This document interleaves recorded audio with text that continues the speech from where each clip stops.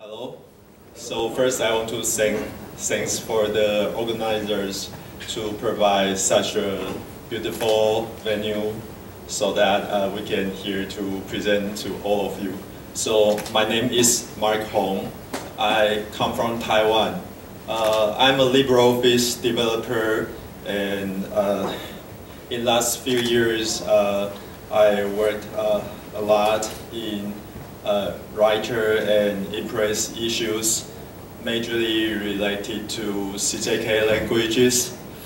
So today I'm going to uh, talk about, to review some of the issues I have faced and some stories behind them. So it's not quite, a, it's not a very technical uh, talk, but just share some of my stories. So uh, in LibreOffice, there are uh, many features that are designed specifically for CJK users, uh, such as Asian typography, that uh, we are allowed to use uh, punctuation, and like we have uh, line breaking rules that we can set forbidden characters at the beginning of the line and end of the line, and Asian kerning and character compression for um, punctuation and kana, Japanese kana. Also, we have uh, uh, justified alignment rules. Uh, Japanese and, and Chinese users have different justified rule uh, comparing to uh, other languages. And also, in some contexts, uh, we write vertically or in a special form of paper called a a text grid paper that is uh, 稿纸或者 genkō yōshi. So, and also uh, we use uh, Ruby or Asian Phonetic Guide to mark ideographs so that the reader, the readers know how to pronounce an ideograph. And we have other language tools like uh, conversion tools for simplified Chinese and traditional Chinese, and also that uh, conversion tools for Hangul and Hanja for Korean people. So, and also there are some features that are not uh, visible from the user interface, but uh, we need them uh, every day, such as support of uh, input method or mixing uh, Western and Asian scripts, or like uh, support of uh, characters, like uh, some special characters like uh, ideograph variance sequence, and uh, Unicode characters that are not in basic multilingual plane. So uh, these features are designed specifically for CJK users. So on the other way that it is hard for uh, other language users, uh, especially uh, for uh, Western people, to understand how they should be used or what the expectation of the, the, the those uh, the behavior of those features. So sometimes it gets very long to uh, get a bug fixed. Okay. So how did everything begin? So uh, I just want to share about uh, my story that how I began to uh, hack LibreOffice. So um, back to 2014, uh, I worked uh, in an organization with uh, roughly 600 computer computers and 400 people, and I my department was responsible for the Office suite migration, and uh, I I was work uh, I worked on uh, promoting promoting the at that time we have deployed OpenOffice, and so I was I worked on promote or, or improve the migration of the Office suite. So there are a few uh, typical questions from the end user. For example, that uh, where uh, we where from time to time we face the question like, uh, why do Chinese numbers in the number list, numbering list, uh, in my in my DOCX or DOC or RTF, those Microsoft format files uh, become Arabic numbers, and and why are punctuation marks so close to the text behind? And why do punctuation marks go outside the printing area? And why are texts ill-formatted?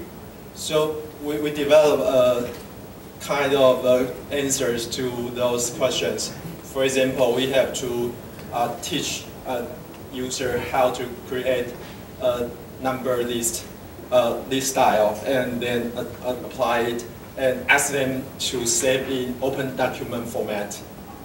Otherwise, if they reload the same file, they will find that the format is uh, was missing again. So uh, that's kind. Uh, it's nothing wrong to save to open document format. I think that is the right thing to do, but uh, on the other hand, it become uh, quite a burden because create a, a, num a number style is kind of more advanced uh, in my point of view. So, and for other questions, uh, like uh, those text formatting uh, issues, I, uh, I, I will ask them to turn off the CJK features, such as uh, character compression, and like pen punctuation and text grid. So at that time, the CJK features became some kind of roadblock behind us. So, so I how and so uh, there is something that my colleague told me that uh, he said that if you got a simplified Chinese document, then the numbered the numbers the Chinese numbers in the document will show up correctly.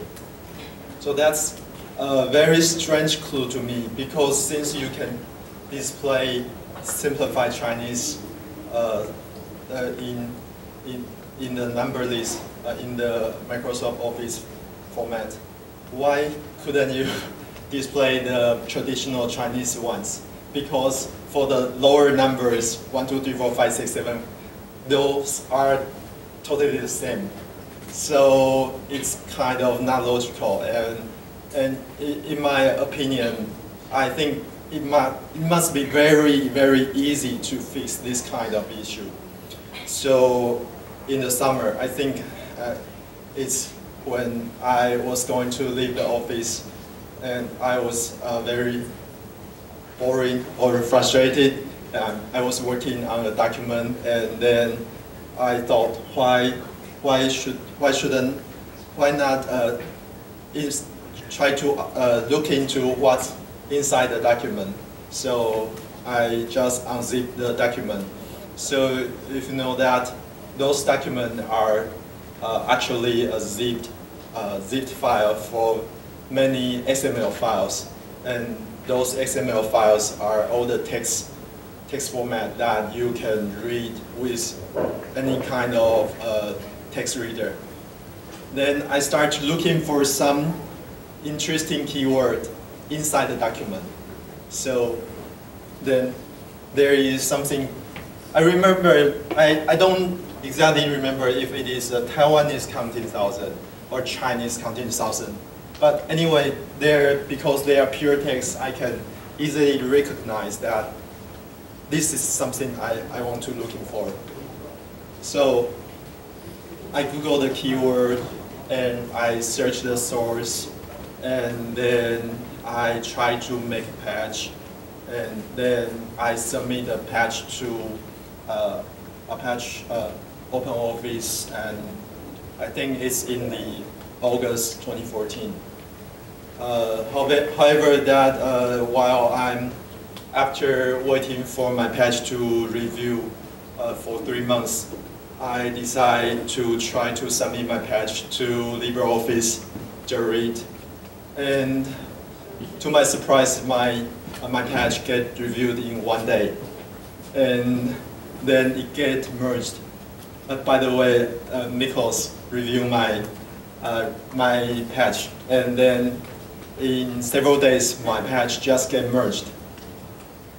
So uh, I told the I told my colleague about this, and they and we're excited about this. So we switched to LibreOffice in next year. So because of this, uh, I think because we got this problem very often, and in our document there are always number lists, and after fixing this, uh, the burden of the support largely uh, reduced. So after that, I become I became a regular contributor. So I started with uh, number list, then all kind of uh, then the number list in different kind of file formats, and then the related issues such as online chapter, uh, any keyword that uh, that is related to that. Then I started to try if I can fix uh, those problematic documents that I can find in my office space. And then later I just uh, look at, started to look at the CJK issue list. So, uh, so it, to expand the area of my interest. So, and so on. So uh, let's look at some of uh, interesting CJK issues. So at that time, as I mentioned, that the user, this is one of the uh, frequently asked user questions, that uh, why the text behind the punctuation mark go close to the previous one. So uh, is there anyone who want to guess the reason? Okay, so uh, this is a, a, specific issue for traditional Chinese users that uh, for character compression that works by pulling the text behind the punctuation for those punctuation marks like uh, full width comma, full width dot, and full width period. So they pull the text behind. So why can you do that? Because in Japanese, the comma and, and period are designed close to the previous uh, text. So if you pull behind uh, one third or, four, uh, or one fourth, then it's, it will not affect the result of formatting. But for Chinese, uh, especially traditional Chinese users, our punctuation mark are around the center of the grid. So if you simply naively pull the text to front to the front, then it will climb together like this. So it takes me some time to understand that there, uh, when we say CJK features, sometimes they're actually designed after the uh, Japanese formatting rules. So I feel it's quite interesting. So like uh, uh similar things happened uh, while I fix uh, the hanging punctuation issue. So like there is, so like we can see in my text example, hanging punctuation is very far away from the border. So because that in Japanese design, uh, text layout rules that you have, uh, your, your punctuation marks are more close to to the previous text. So, so it seems more obvious to traditional Chinese users. But anyway, I, I just try to find out everything I can find on the CJK issue list. So, so now makes and makes the the selection of uh, the text more consistent when there is a hanging punctuation. And then after I after I tried to look at the CJK uh, meta issue, uh, then I started do something that I didn't use myself, like this one. Uh, that is uh, Ruby. So I saw that, I just think uh, maybe this will be useful for Japanese people, and they will feel inconvenient without them.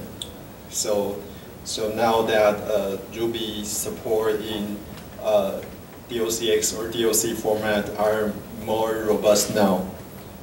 and then and we try. I try to look at some strange issues like when there are uh, strange characters, the justified alignment will uh, show up uh, show up ill uh, ill formatted, and like lines extrude the and if there is uh, underline or, or, or cross lines, they will extrude the area of the of the page. And also try to make the borderlines and underlines uh, more consistent.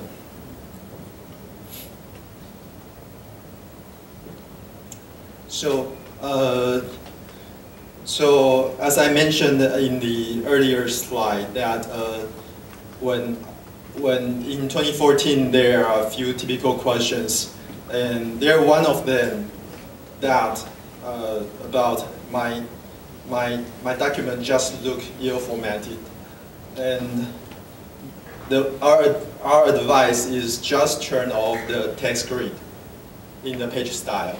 So so this uh, that is because that. Uh, there are so many strange things when you turn on text grid.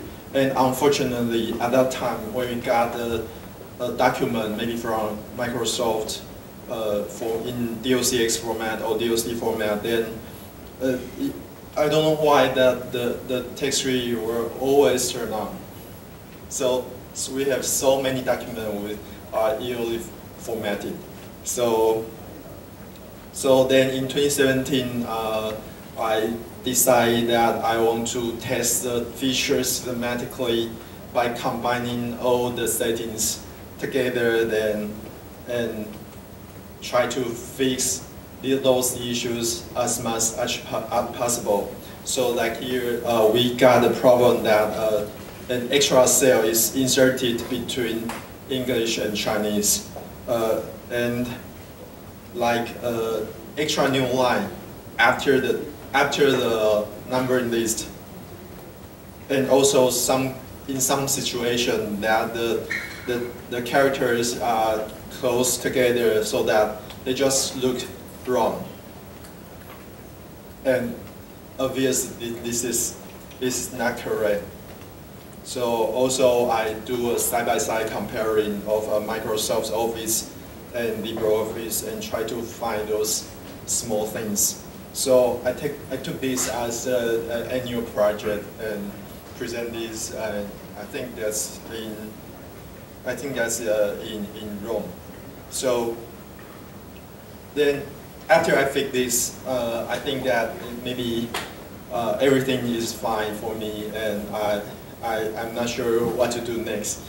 And so in next year, uh, I, I try to fix something that is uh,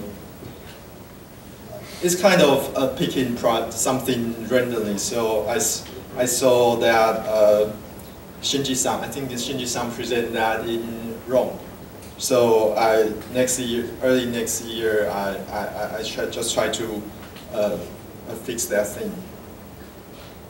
And also there is an uh, ongoing, uh, there is an ongoing big project for me. Uh, so the for Japanese users that uh, Rubies, uh, the typical use of Rubies are using the are put above or behind the uh, the base text, and but uh, for uh, traditional Chinese users in Taiwan, that uh, we have we we when we writing horizontally from left to right we will mark the uh, mark the uh, mark the ruby at the right side of the base text vertically from top to bottom. So uh, this is typically used uh, for small children who is about one first year or second year in the, in the elementary school that they are learning to write ideographs. So I did this, uh, I began to uh, do this at, uh, I think it's uh, in 2016. At that time, I, my, my daughter is uh, was still in kindergarten, then I tried to set a deadline for myself that if I can make it before she started to learn the, this system, this marking system, but I failed. I missed the deadline. And, but anyway, I'm happy because I think that if, if you're a teacher or, or like sometimes uh, once my, my wife is writing something for my daughter and then and you, you will have the only software you can use is Microsoft Office. So then now we have a, we finally we have another software that we can um, open source software that we can mark the the uh, the Bopomofo in a way that are are we familiar with. So eventually in 2018, uh, I done the text layout and the Ruby, dialog, Ruby dialog uh, updated so that there is an option for the vertical write and support different kind of uh, file format. And also uh, it's actually another bug that tone, tone mark positioning because that uh, these symbols are called tone marks uh, and uh, they have different positioning when they are writing as tone marks. So, uh, so when I develop this feature, I test with a special font called uh, Bopomofo GPOS Regular that is uh, designed by But Ko in Taiwan. And uh, unfortunately, um, they, the font uh, is uh, evolving and they eventually put those uh, for tone mark positioning feature into Source Han Sans, and something has changed that uh, Source Han Sans to 2.0.1 uh, does not compatible with uh, LibreOffice. It's kind of pity. So, so what's next? So there are still about uh, 90 issues uh, on the CJK, uh, meta list. So there is quite, there are still quite a lot of things that we can do. So for example, uh, I tried to start to work on Ruby in Calc uh, early this year. So the general idea is that we can create character attributes similar to writer. And then then we can reuse the Asian phonetic guide dialog and then we try to import and export from the Excel format. And then we do the text layout and display. And then finally we can develop uh, attributes or properties for open document format so that they can be imported and exported. Also there are, uh, while also there are still many things that that there that I'm interested, like how to make uh, Ruby easier to use. And for example, it currently split split a segment uh, for use so that you can mark the mark the Ruby text on it. But if we made mistake, then it will be hard to edit. And also for Taiwanese users, we mostly use uh, mono rubies for Bopomofo. So also there are some requests about improving the tool in general so that it can be edited more quickly and search and replace. And also um, Calc, Calc and Impress do not support Ruby yet. So in uh, I discussed this with uh, Nano-san so he said that uh, Calc is uh, more important because uh, there uh, there are some uh, widespread uh, document there. So and also there are line breaking rules that I have tried to look into, but I did not have enough time to handle. And they all have similar causes and so that might be an interesting uh, issues to handle in the next stage. also vertical writing issues here. So for vertical writing, I did not, uh, I did not actually show up anything changed uh, in today's presentation. I tried, but I cannot do it very well because I fixed it for a few times, then it broke a few times.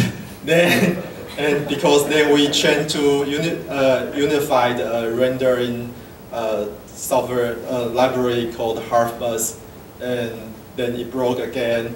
And with other developers' help, I think help has needs help that uh, we we make it correct again for Linux and Windows. And for Mac platform, it, it is always incorrect. And because I don't have a Mac, so I cannot even to see, I cannot even see what's the problem. So in my opinion, although that the unified text layout are correct for horizontal writing in general, I have uh, no confidence for the virtual uh, writing. And so this might be uh, one area that uh, worth uh, discussing. So what's next? So if you're still interested in what's next, then you can come to join us, join the Liberal LibreOffice Hackfest tomorrow. Thank you.